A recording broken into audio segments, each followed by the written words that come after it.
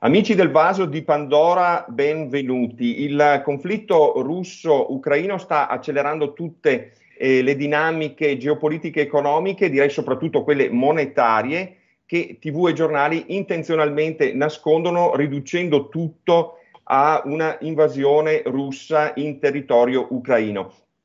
Una notizia vi do in anteprima prima di introdurre il nostro ospite per eh, diciamo, confermare questa disamina è che 70 banche straniere stanno aderendo al nuovo sistema di pagamento russo alternativo allo SWIFT. Questo è uno dei punti che tratteremo oggi insieme al mio illustre ospite Armando Savini, economista e saggista. Benvenuto, ben ritrovato Armando.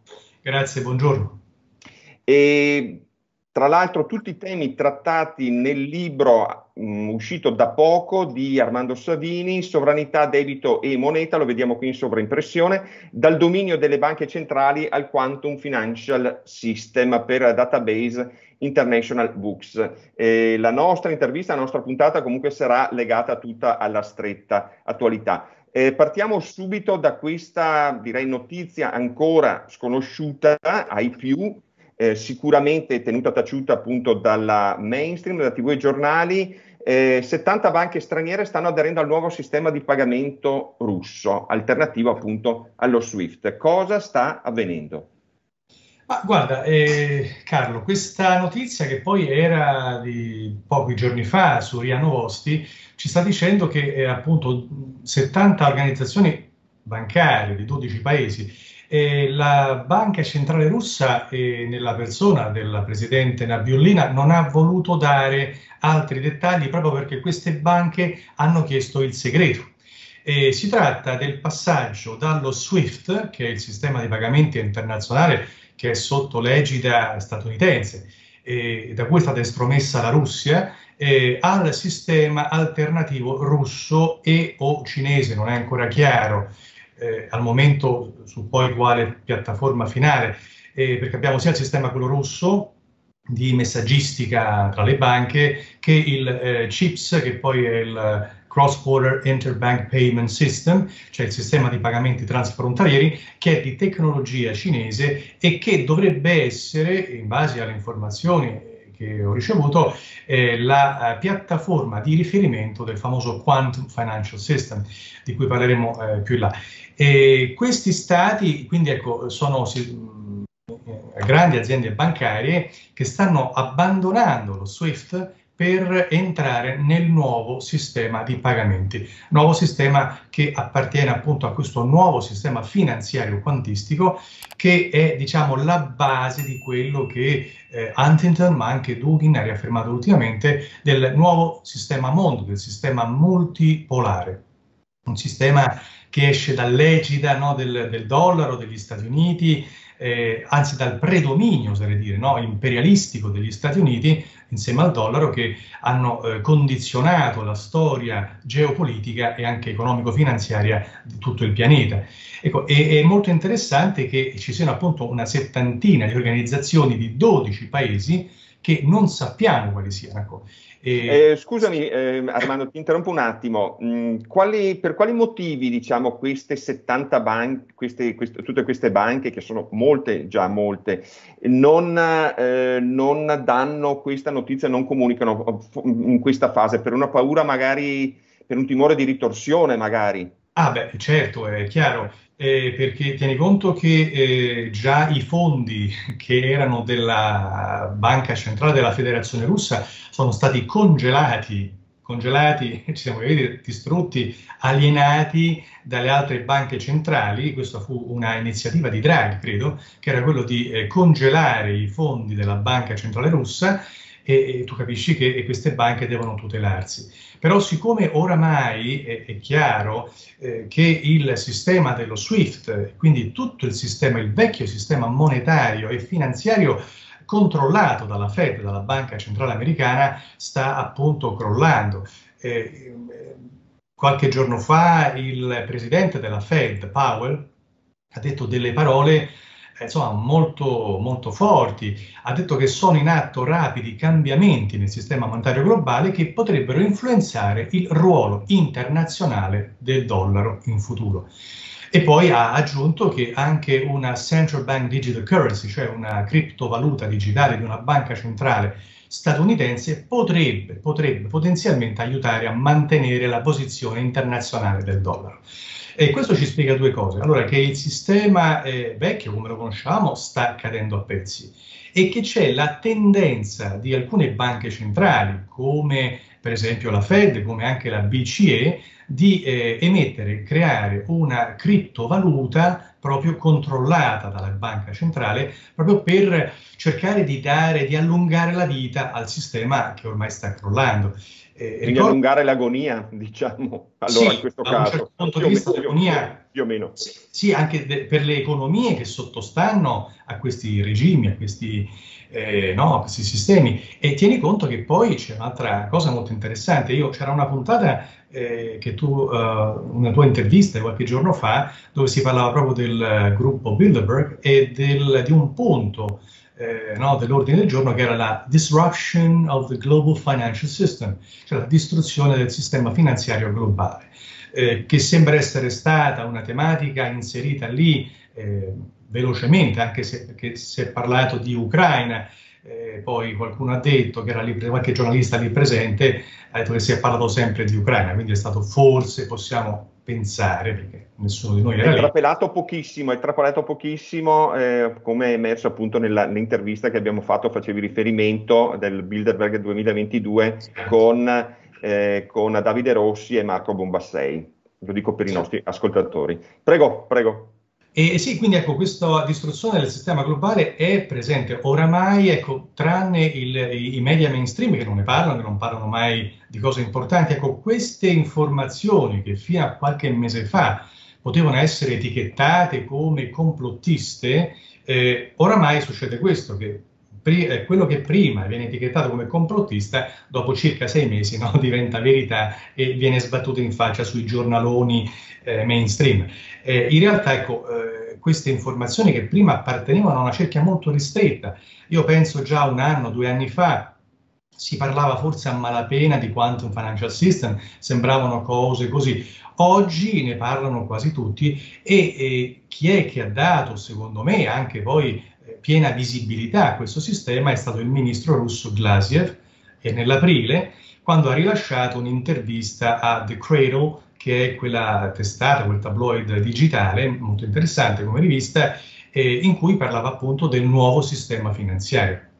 Un nuovo sistema che, eh, diciamo, eh, andrà a supportare un sistema mondo multipolare, cioè un sistema che è totalmente opposto dal sistema unipolare. Il sistema unipolare sappiamo che era il sistema liberista americano, eh, definito come la civiltà per eccellenza e se quella è la civiltà il resto del mondo sono dei barbari, degli incivili.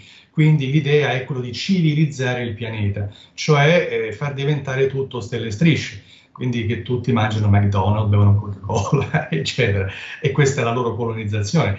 E, ehm, e soprattutto poi il sistema monetario e finanziario di ogni paese che era legato allo SWIFT e legato anche al dollaro. Ora, si capisce che se la Fed che la, Fed- Banca Federale, eh, la Federal Reserve, la Banca Centrale Americana, ha lo stampo del dollaro e se la maggior parte delle transazioni internazionali, come anche il petrolio anche le risorse naturali, avviene in dollari, ecco che la, gli Stati Uniti hanno un vantaggio unico al mondo e quindi possono condizionare le economie mondiali e anche la capacità di estromettere qualcuno dal sistema di pagamenti dello SWIFT, come è successo con la Russia, è diciamo, un'arma di ritorsione molto forte, perché alcuni paesi che per esempio potrebbero eh, diciamo, eh, dipendere dalle importazioni, senza dollaro e senza SWIFT si troverebbero isolati fuori dal mondo e quindi incapaci anche di comprare e vendere. Certo. Quindi questo è un'arma di ricatto molto forte e quindi credo che sia anche la ragione per cui queste 70 organizzazioni no, eh, abbiano aderito top secret al nuovo sistema. Certo, e di fatto invece questa esclusione al, sistema SWIFT sta accelerando il processo, in realtà è un acceleratore di processo opposto quindi a una eh, proprio multi, mh, direi proprio multipolarizzazione del, anche del sistema, del sistema economico anche, no? Sì, paradossalmente queste sanzioni che l'Unione Europea ha voluto infliggere alla Russia eh, sono state un boomerang terribile. Eh, leggevo qualche giorno fa, sempre su RIA Novosti, credo, quindi la, il giornale russo, che alcune... Poi riportiamo, scusami, lo, lo, dico proprio per gli ascoltatori, poi riporteremo il link proprio nel testo di accompagnamento a questa intervista, così potranno, potrete tutti consultarlo. Prego. E leggevo che appunto Macron ha cominciato a ribadire con insistenza che il prezzo da pagare per queste sanzioni in Europa comincia a essere troppo alto. Questa era la notizia di due giorni fa, che non è stata riportata sui media, perlomeno io non l'ho, non l'ho letta sui media nostrani, né diciamo i soliti. Non media. c'era, non c'era. E quindi ecco, questo è importante perché c'è un, eh, comincia ad avvertirsi una certa stanchezza. Sappiamo che Macron ha perso la maggioranza in Francia, eh, comincia a vacillare eh, e quindi ecco, comincia a sentire anche i contraccolpi eh, di queste sanzioni russe che poi in realtà sono un boomerang sulla nostra economia. Sappiamo da poco che Putin ha ridotto anche il gas del 60% di forniture all'Europa e l'Italia vedrà ridursi il 15% di forniture, anche se poi sappiamo che in Italia abbiamo dei giacimenti di gas. Eh, ricchi ma che sono stati chiusi e non si sa perché. Ecco, noi potremmo... Qual è la tua, la, qual è la tua eh, eh, Armando, qual è la tua ipotesi, diciamo, sul perché sono stati chiusi? Ma guarda, eh, c'è in atto, secondo me, ma credo ormai sia sotto gli occhi di tutti, eh, eh una proprio eh, tendenza a distruggere l'economia italiana, a distruggere non solo l'economia, ma anche eh, l'etnos, cioè questa proprio tendenza a voler, hanno già cominciato da molto tempo con la cultura, eccetera, ma ultimamente notiamo che queste politiche economiche sono delle politiche volte a veramente non a contrastare la crisi, ma ad accelerarla. Noi abbiamo delle riserve di gas, c'era tempo fa, qualche settimana fa, era uscito un report da parte, adesso non ricordo di quale testata, che parlava appunto dei pozzi di gas che noi abbiamo e, e che purtroppo sono chiusi e anche gli enti che si diciamo, occupavano dell'estrazione del gas non riuscivano a capire il perché fosse stata diciamo, arrestata questa, questa politica no, della ricerca di risorse naturali. Quindi l'Italia non è ricchissima come la Russia del gas, però potrebbe avere eh, una migliaia di metri cubi eh, all'anno che potrebbero in questo momento andare a compensare la domanda senza che i prezzi salgano.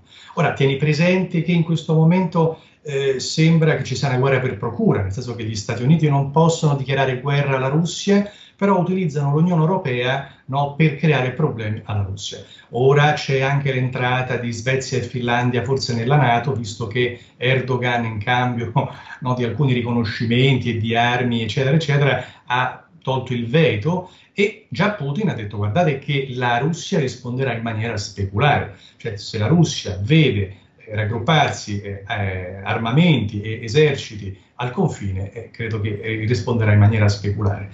Però ecco, tutto questo credo sia il tentativo, forse l'ultimo colpo di coda ecco, di un sistema che sta crollando e cerca di trascinare nell'abisso, nel baratro, quanto può. Quindi abbiamo sia diciamo, questo livello geopolitico eh, ecco, e poi il, l'idea che mh, stiano utilizzando la crisi eh, scaturita da questo dissidio no, con la Russia proprio per portare a compimento quello che già era stato scritto nei loro programmi, quindi la crisi economica, la crisi climatica, la carestia, eh, adesso si dice che forse toglieranno l'energia elettrica quando vorrà il ministro, insomma cose veramente che non saranno Senti, eh, ho, ho, letto, eh, riportato anche in alcuni quotidiani, ovviamente non allineati al, al, mainstream, che l'obiettivo è quello di portare una, eh, la domanda di energia elettrica, a renderla proporzionale all'offerta. Quindi praticamente vuol dire proprio tagliare, tagliare il gas e probabilmente anche mettere in crisi le, le, le, aziende di conseguenza, perché il gas disponibile sarà evidentemente po- poco, meno di quello eh, che servirebbe per un normale funzionamento anche delle aziende, dell'economia, eh, eccetera. Quindi proprio ridurre, ridurre, la domanda, quindi mettere, mettere in crisi eh, o addirittura far chiudere in, eh, settori o determinate, tutta una determinata fascia di aziende? Ma guarda, eh, io credo di sì, perché eh, cioè, tutto è, prosegue come da tabella. Prima abbiamo avuto la famosa crisi pandemica che tendeva a distruggere la domanda, quindi abbiamo avuto un calo dei consumi, un calo degli investimenti, dell'occupazione della produzione. E poi a un certo punto abbiamo visto che l'economia era ripresa un pochino, cioè o meglio la domanda di beni dopo la crisi è ripresa, ma l'offerta, la capacità produttiva non era più quella di prima. Bar, ristoranti, parecchie aziende hanno chiuso anche. E adesso è il momento, diciamo, della crisi energetica, quindi bisogna rendere scarse le risorse. Rendendo scarse le risorse aumentano i prezzi, infatti siamo in deflazione. Prima eravamo in deflazione, ora siamo in stagflazione perché hanno mantenuto l'inflazione nascosta, nascosta insomma, quello che si poteva. E addirittura si dice oggi che stiamo all'8% le statistiche. Qualche settimana fa, Franco... Secondo te, scusami, qual è l'inflazione reale adesso? Dicono l'8%, ma è quella, è quella reale. Non... Guardiamo, solo, guardiamo, solo, i carburanti, eh, cioè l'8% è, una, è, è ridicolo, insomma, no? direi che siamo all'8%. Guarda, io credo molto di più, nel senso che Franco qualche settimana fa diceva, ah sì, ma siamo al 2% se non teniamo conto del rincaro dei carburanti. Ora, come frase... Vabbè, allora, togliamo, togliamo una, una, la, certo, la voce, voce principale del paniere. Esatto, perché l'offerta dipende, di produzione dipende da, il, da benzina, dai carburanti, anche la distribuzione dei beni, perché ricordiamo che è su gomma in Italia, dipende dai carburanti. Quindi eh, è una frase fuori luogo. Eh, secondo, per esempio, ecco, Putin al suo eh, 25 forum economico di San Pietroburgo, due settimane fa, diceva appunto che eh, alcuni stati europei sono arrivati all'inflazione del 20%. Quindi diciamo che io non mi sorprenderei se l'inflazione qua in Italia, ma anche in Europa, oscillasse tra il 15 e il 20%, perché oramai i prezzi sono veramente troppo alti. Sì. Eh, senti, la, ecco appunto, hai eh, nominato adesso il discorso di Putin di un paio di settimane fa, il summit di San Pietroburgo. E, è da notare che subito dopo c'è, c'è, ci sono state delle affermazioni di Kissinger eh, che ha detto che il sistema unipolare è fallito. È un altro passaggio molto molto interessante, sempre di Kissinger, che l'Europa dovrebbe recuperare e ristabilire i rapporti eh, con la Russia. Eh, che interpretazione dai tu di queste affermazioni di Kissinger? Cioè, calcolando la, la figura no, da cui sono uscite queste affermazioni, è l'indice che qualcosa, la butto lì, che qualcosa si è rotto all'interno dei centri di potere del mondo occidentale? Ma guarda Carlo, eh, questa uscita di Kissinger mi sembra che sia la seconda o la terza, se non ricordo, c'è stata una precedente in cui ricordo, era credo a Davos, in cui Kissinger ha detto chiaramente bisogna riconoscere la Russia nell'Europa e i suoi valori, stava lodando i valori della Russia, valori che oggi vengono messi diciamo, in discussione da un Occidente che con la sua propaganda deforma la realtà delle cose. E, e poi diceva un'altra cosa molto interessante, eh, diceva che l'Ucraina deve essere pronta a perdere qualche territorio. E credo che questa di Kissinger, ricordo che Kissinger eh, insomma, è l'uomo del deep state, è colui che per anni ha condizionato la politica no, estera americana, è colui che avvicinando Aldo Moro gli disse che se avesse fatto crescere l'Italia lo avrebbe fatto uccidere. Quindi insomma non è una persona... Eh, secondo me questa di Kissinger eh, non è che sta intercedendo per eh, il mondo libero, è forse un modo per cercare una tregua con la Russia e, e far guadagnare tempo al sistema morente. E oramai che il sistema unipolare sia crollato, sia giunto al crepuscolo, oramai è sotto gli occhi di tutti. Eh, solamente i media che fanno propaganda continueranno a dire che va tutto bene. Lo stesso Kissinger, che è un uomo che ha un, una certa visione profonda della geopolitica, si rende conto che eh, siamo giunti alla fine del sistema unipolare ed era qualcosa che già si era previsto tempo fa. Eh, lo stesso Huntington parlava proprio di, eh, eh, di conflitto tra le civiltà e dell'emergenza della multipolarità. Quindi eh, che il sistema diciamo, liberista stia arrivando, il sistema liberista occidentale di eh, impronta no, USA, NATO, UE, sia giunto a, a, alla fine dei suoi giorni, eh, oramai questo anche lo stesso Kissinger eh, diciamo, farebbe un errore ecco, a sottovalutare questa, cioè, questa visione. Credo che eh, sia un tentativo ecco, da parte del deep state, io lo vedo così, di eh, prendere tempo con la Russia, perché sanno che gli Stati Uniti non possono competere con la Russia. Gli Stati Uniti non possono dichiarare guerra alla Russia e soprattutto non sono in grado di competere in una guerra contro la Russia. Ecco perché stanno mandando avanti l'Europa e stanno cercando diciamo, di fare questi giochini, no? di far entrare Svezia e Finlandia, ecco, di accerchiare la Russia. E Putin qualche giorno fa, sempre al famoso forum, ha detto una cosa molto interessante eh, che secondo me è la chiave oggi del sistema multipolare. Ha detto uno Stato o è sovrano o è una colonia. Eh sì, terzio, terzium non datur. Esattamente, ma ha parlato non solo di sovranità, di sovranità monetaria, ma soprattutto ha eh, posto l'accento sul discorso della sovranità tecnologica. Cioè la Russia in tutti questi anni ha avuto una crescita tecnologica e le armi di cui dispone oggi, anche i missili ipersonici, eh, sono qualcosa a cui eh, diciamo, gli Stati Uniti non possono rispondere prontamente. Eh, leggevo tempo fa che un missile ipersonico non è controllabile, non è prevedibile la traiettoria. Quindi eh, diciamo che eh, anche i sottomarini russi, gli ultimi che sono usciti, sono eh, di una tecnologia avanzatissima.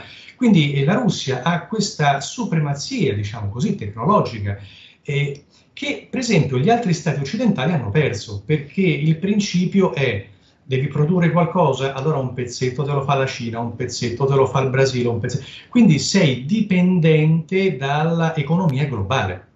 L'abbiamo visto anche con le mascherine, quando c'era la cosiddetta pandemia.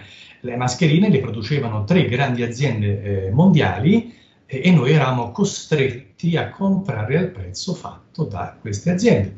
Poi qualcuno ha cominciato a produrle in Italia eh, e si è cominciata la produzione, ma questo ci ha veramente eh, fatto capire quanto sia importante avere delle risorse strategiche, degli asset strategici.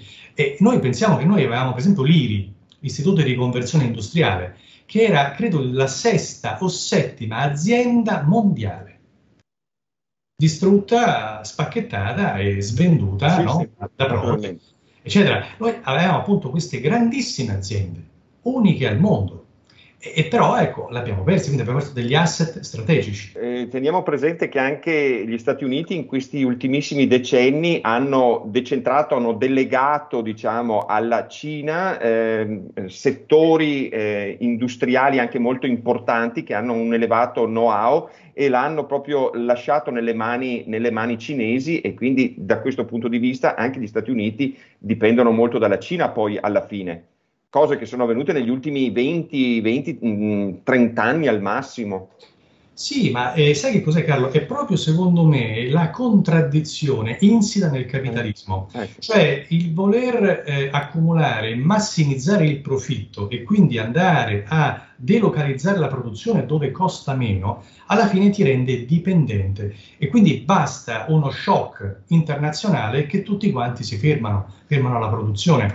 Io, sai, c'era una c'era Keynes, John Maynard Keynes, che diceva nel, nel 33 circa, non ricordo con esattezza l'anno, diceva che il commercio internazionale è importante, dice, però oggi do- possiamo permetterci il lusso di essere anche indipendenti. Quindi detto dal padre no, della macroeconomia, che lui era eh, di scuola neoclassica, liberista, anche se ha apportato dei cambiamenti molto importanti. Quindi eh, cioè dover tutto demandare al commercio internazionale no, per i vantaggi comparati, nel senso che lì costa di meno, quindi a me conviene specializzarmi in un settore e acquistare dall'altra nazione specializzata nell'altra. Questo poi comporta anche una perdita di indipendenza e dal punto di vista geopolitico una certa debolezza. Ecco perché giustamente Putin ribadiva eh, proprio questa eh, sovranità anche tecnologiche. Diceva uno Stato o è sovrano o è colonia e non può, se è colonia, competere nel nuovo assetto geopolitico. Certo. Senti, io vorrei affrontare un ultimo punto che magari poi riprenderemo, anzi, vista l'importanza, riprenderemo prossimamente in un altro nostro appuntamento, un'altra nostra intervista. Ecco, la, l'avevi già nominato prima che eh, recentemente il ministro russo Sergei Gla, eh, Glaziev ha parlato del nuovo sistema eh, finanziario globale eh, basato sulla piattaforma CHIPS, eh, the Cross Border Interbank Payment System. Ecco. Eh, di questo tu tra l'altro hai recentissimamente parlato con, eh, personalmente con il filosofo Alexander Dugin.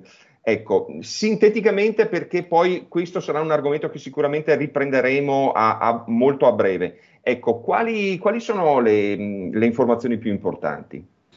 Allora, eh, come dicevo prima, queste informazioni che erano di stampo etichettate come complottiste in realtà stanno uscendo fuori. Eh, ad aprile eh, Glasiev ha, dato, ha parlato del nuovo sistema finanziario, sarà un sistema eh, in cui, per farla breve, ecco, le banche centrali non potranno più produrre, creare moneta dal nulla come è successo adesso, ma eh, la moneta avrà sempre un sottostante che non sarà solo l'oro, il palladio, quindi i metalli preziosi, ma per asset reale si intenderà anche la popolazione, si intenderà anche il paesaggio, cioè la cultura, tutte, diciamo, tutti quegli elementi che caratterizzano un popolo e che danno valore aggiunto.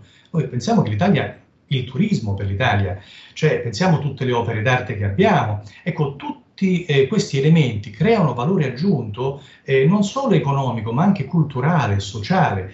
Quindi ecco che questo rientra nel concetto di asset reale. Quindi la moneta servirà e coprirà prettamente gli asset reali. Quindi è possibile anche in questo contesto che la moneta verrà creata dalla banca centrale e, piccola parentesi Carlo, eh, si ritornerà molto probabilmente alle banche centrali nazionali, forse noi ritorneremo alla lira, non sappiamo, ma molto probabilmente si ritornerà a questo. Eh, tieni presente che il 10 giugno è successo qualcosa. Il Ministero dell'Economia e delle Finanze ha riacquistato i propri titoli. E Anche questa notizia top secret. Sì, non è passata molto. Eh, non è, è passata poco, molto, molto, poco, proprio per i, cacciato, per i cacciatori di, di notizie, ecco, la, la, sanno direi. Eh, questo è importante. Ecco, il Ministero... Ecco, dici, dici, dici, questo è un passaggio fondamentale, spiegacelo Armando. Sì, eh, tieni conto che eh, era la Banca Centrale Europea ad acquistare sul mercato secondario i titoli del debito. Eh, il fatto che il Ministero dell'Economia e delle Finanze riacquisti i propri titoli vuol dire che l'ha fatto tramite la Banca Centrale, la Banca d'Italia. Quindi che la Banca d'Italia, le banche centrali possano piano piano riappropriarsi no, della propria sovranità monetaria. Eh, questo è molto importante ed è un'inversione di tendenza a cui non eravamo abituati ormai da decenni. E è, quindi... è contento Draghi di questa cosa? Ma guarda, eh, su questo non ho avuto modo di esaminare, anche perché Draghi eh, diciamo che è eh, no, l'uomo del whatever it takes, che ha voluto sempre mantenere l'euro in vita a costo di sacrificare la Grecia, è un uomo che porta avanti... E l'Italia. E, l'Italia. e anche l'Italia, certo. È un uomo che porta avanti la sua agenda e è chiaro quale sia l'agenda, ecco, non è la crescita del PIL italiano né della sua no, uh, potenzialità. Comunque, per tornare al discorso del quantum, e quindi a questo sarà un sistema eh, dove non potrà più crearsi moneta, come è successo adesso, che le banche centrali creavano moneta per le banche, le banche facevano speculazione addirittura si è creata quel che si chiama asset inflation, cioè l'inflazione degli asset, perché compravano titoli e quindi speculavano, eccetera, mettendo poi a rischio maggiormente le banche più esposte. Ecco. E, e, quindi la moneta sarà a servizio dell'economia e del popolo. Quindi c'è un, un, riappropriarsi di uno strumento molto importante, perché la moneta è legata anche alla libertà di un popolo. E questo verrà fatto attraverso una tecnologia che è la tecnologia quantistica, cioè eh, il tutto sarà gestito da questo eh, Quantum Financial System. Che cos'è? È un sistema di computer quantistici eh, caratterizzati anche dall'intelligenza artificiale che gestirà il sistema economico eh, al meglio e non sarà più possibile, dicevo prima, creare moneta, ma soprattutto eh, quello che succedeva tempo fa, per esempio con le cripto, no? tipo in Bitcoin, che venivano utilizzati per pagare i riscatti o per comprare armi, droga. Quindi ecco, tutte quelle attività economiche eh, che dal punto di vista etico eh, non soddisfano certi criteri, no? quindi ecco, saranno estromesse. E tutte quelle banche che non potranno, quindi sistemi bancari che non potranno giustificare quella moneta, frutto di cosa? ecco che resteranno fuori dal sistema. E è importante per ogni banca, per ogni, e qui ritorniamo alle famose 70 banche, organizzazioni che sono entrate no, nel nuovo sistema, per sopravvivere una banca oggi deve necessariamente approdare al nuovo sistema quantistico perché il computer quantistico è caratterizzato da quella che si chiama la supremazia quantistica. Mi spiego in parole molto povere, cioè il computer quantistico essendo in grado di eh, fare delle operazioni indefinitivamente superiori a quelle di un computer classico in una frazione di secondo, ok? Mentre un computer classico può metterci anche 100 anni per fare un'operazione. Eh, questo fa sì che il computer quantistico eh, abbia più risorse per distruggere la chiave di eh, criptazione, eh, la crittografia appunto di un sistema eh, bancario. Pensiamo a un pagamento, c'è tutto un sistema crittografico adesso in questo sistema, che può essere distrutto dal nuovo sistema. Quindi chi rimane nel vecchio sistema non, più, non può più garantire una sicurezza al 100%. Certo. ecco, questo è importante e questo ci spiega la necessità di queste banche di passare prima che la banca, eh, scusi, che il sistema eh, unipolare, quindi americano, affondi con tutto lo SWIFT, eh, prendono scialuppe di salvataggio per abbordare no, il nuovo sistema. Il... Chiarissimo, chiarissimo. Eh, sono mh, tematiche che riprenderemo molto a breve. Ehm, Armando, guarda, io chiuderei, eh, chiuderei proprio relativo al quantum financial system, chiuderei con proprio un'ultima domanda per una tua eh, una tua mh, disamina, una tua seconda una spiegazione molto così sintetica. E, ehm, il, perché il quantum financial system è sostanzialmente sconosciuto agli economisti e addirittura in certi casi snobbato? Ecco, volevo solo, è, una, è quasi un po' una curiosità, però sicuramente ha una sua spiegazione. Ma guarda, eh, ti dico, io ho insegnato all'università tempo fa, sono stato docente al contratto di economia e metodi di ricerca per il business e anche di storia economica e eh, devo dirti che l'università oggi è un pochino ingessata, nel senso che eh, i programmi sono quelli, no? l'agenda anche lì è quella liberista, nel senso che tu insegni economia, il tuo corso è quello, diciamo, dell'economia neoclassica, questa è l'economia eh, par excellence, no? e non c'è spazio per l'economia eterodossa, per altri modelli. Mm. E, e, credo che parecchi oramai, dopo 20-30 anni, che sono in quel box, no, in quel paradigma lì, fanno fatica no, a, eh, diciamo, a uscire fuori.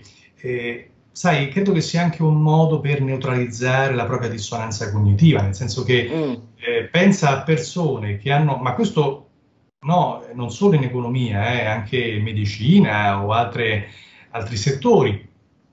Persone che hanno passato 30, 40 anni a eh, studiare alcune cose tutta la loro vita, all'improvviso scoprono che c'è qualcosa che potrebbe mettere in discussione 30-40 anni di studio. Si fa prima dire che sono sciocchezze che esaminarla con attenzione, con quella diciamo, onestà intellettuale che dovrebbe caratterizzare ogni accademico, ogni persona di buona volontà che cerca la verità.